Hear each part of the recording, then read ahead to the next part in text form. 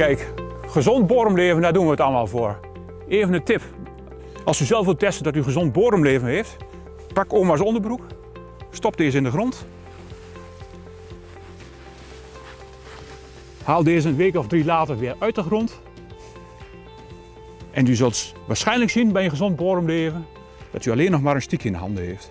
Zou u dit doen bij een dode grond zoals dit, dan is de onderbroek waarschijnlijk nog helemaal intact. Kan oma de onderbroek gelijk weer aan.